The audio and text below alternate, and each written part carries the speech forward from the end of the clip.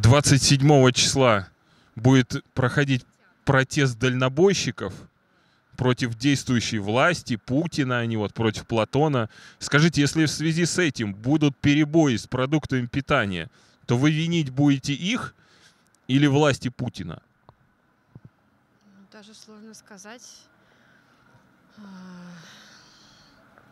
Ну, наверное, нельзя оставлять какие-то группы людей без продуктов. Есть же дети маленькие, которые должны получать какие-то продукты питания, у которых определенный срок годности, и заранее не запастись. Вот. Поэтому сложный вопрос, не знаю. То есть все-таки они работать должны, да, а не бастовать? Ну, может быть, какие-то другие формы. Может быть, не бастовать, а как-то какие-то подавать документы где-то в арбитражный суд в какой-то, может быть, подавать или как-то так вот иными, наверное, формами. Потому что без чего-то, безусловно, можно там какое-то время перебиться, а какие-то продукты питания, наверное, все-таки должны быть у населения. Ну, определенных групп. Дальнобойщиков, конечно. Дальнобойщики, они же выступают. Конечно. Я затрудняюсь ответить. Не Путина, а ту систему, которую вела, наверное. Вот власть будет виновата или дальнобойщики? Скорее всего, власть, потому что как бы они вводят законы, не дальнобойщики. Хороший вопрос. Надо подумать. Ну, тут как бы эта политика, она не может быть с одной стороны, она идет с обоих сторон. То есть Ну надо вот выйду, выйду- они просто говорят, мы на протест выйдем, да, и и у вас будут перебои с едой тогда. Вот как вы считаете, вы конкретно и вообще народ России, он больше возненавидит за это Путина или дальнобойщиков? А это как средства массовой информации преподадут. А именно? А именно правительство, ну как бы федеральные каналы покажут одно, сделают общественное мнение, оппозиционные каналы покажут другое, сделают другое мнение. А у вас вот лично какое мнение? А я белорус. Да никого не будем видеть. Ну, мне вообще. Я вот за дальнобойщиков, я вот дальнобойщиков винил. Меня, меня в целом как бы все устраивает. То есть нельзя им бастовать? Я как бы, ну я против. Нужно работать и, и не чирикать, да? Ну как бы да, у меня есть знакомые друзья дальнобойщики, как бы никогда не замечал, чтобы кто-то из них хотел бастовать против Путина. А почему должны быть такие проблемы? Вот они собираются бастовать через недельку.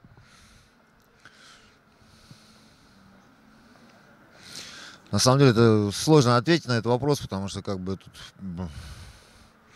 тут очень много таких сопр- соприка- соприкасающих моментов, да, потому что на самом деле как бы склады забиты, по большому счету. То, что привозят, сложно ответить на самом деле. Ну вот по-вашему, они имеют право на забастовку или они должны работать и не чирикать? Выдвигая свои требования, мне кажется, имеет каждый человек, любое э, общество, сообщество, потому что любой человек имеет право на что-то лучшее, правда? И если что-то ему не дается или что-то препятствует, люди имеют право выбирать и требовать то, что им нужно. Логично, что их. Ну, это очень сложный вопрос, как бы тут э, сразу так не ответишь. Это нужно думать. Они виноваты, да? Но я вот э, Если они не могу ответить. то в первую очередь они. Нельзя им протестовать, они работать должны. Да не, Они можно, имеют конечно. право, конечно. Никого не буду винить. Буду винить магазины. Как это магазины? Ну в магазины же дальнобойщики привозят продукты. Ну, не знаю, руководитель магазина должен договориться с дальнобойщиками.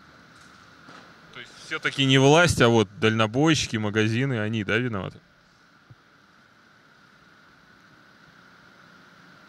Но, в принципе, власть же тоже люди, они же тоже покупают продукты. Наверное, они как-то, если принимают какие-то законы, то Ну они вот такие законы принимали, что дальнобойщикам невыгодно на работу ходить.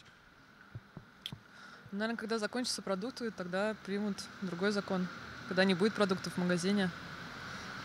Примут другой закон, чтобы дальнобойщикам было удобно работать. Да.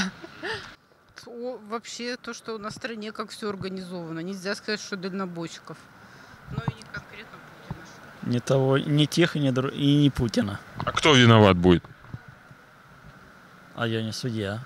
Ну вот дальнобойщики не вышли на работу, в магазине нет продуктов. Кто виноват, получается? Вот Если дальнобойщики не выйдут на работу, то это их законное право. То есть они отстаивают свою точку зрения и имеют право, как во всем мире, там В правительстве их должны услышать и выйти с ними на контакт и это обсуждать. То есть так должно быть. Принять меры, чтобы они работали дальше. Чтобы им выгодно было работать. Переговоры вести, что их не устраивает, что надо изменить. Просто никто вот не реагирует на них, это плохо. Ни, ни Путина, ни их. Ну, они вот против Путина восстают там, Ну, недовольны им. ну, по-настоящему не Путин же виноват в этом. А кто? Тема. И, наверное, есть за Путиным люди, которые, э, как чиновники, которые должны их делать. Путин же не хозяин этих вещей. Он может давать какие-то указы, но исполняет конкретные люди. И, наверное, есть люди, которые в чем-то виноваты. Надо разбираться, делать серьезное. Никого винить не буду. А я считаю, что есть серьезные вещи, в которых нужно серьезно разбираться, а не огульно спрашивать вот прохожих. Какой рост в сантиметрах у Путина? Ой, я не знаю, но он не очень высокий. С- 158, 160, наверное, где-то так. Ну, для меня это вообще бог. Я, я, Рост? я в него Рост? верю. Высота его или что? Или что? Да, да. А рост? В сантиметрах. В сантиметрах? Я не знаю. Я не он видел уже. Классный чувак. Ну, Метр шестьдесят сколько? Метр семьдесят, Метр семьдесят, да? наверное. Но это Я не не важно знаю, вообще. реально. А почему? А что, ну, Это вообще не важно. выяснить хотим. Я реально просто ни разу вживую не видел его, поэтому я не знаю. Ну, он не очень высокий, от метра По- 70, метр 75, не больше, я думаю. Если, Да, если наверное. сравнить с крышей Мерседеса, на которой он ездит. Чего, чего? С крыши Мерседеса, на котором он ездит, если Я сравнить. не знаю. Это чё- это- 180? 180, наверное, где-то. Ну, в районе того, наверное. Какого роста он? Да, вот в сантиметрах. Не знаю, ничего не считаю. Ну, ближе вот к чему? 70? Я думаю, что да, что он выше меня. Что он больше, больше чем метр семьдесят. Ну, разве это имеет какое-то значение? Это важно очень. Между 160 и 175. М, Думаю, что где-то около метра восьмидесяти. 180 с лишним. Может быть, метр восемьдесят пять. Даже выше 180. Не, ну я думаю, что где-то приблизительно моего роста. Терминатор, ну, это.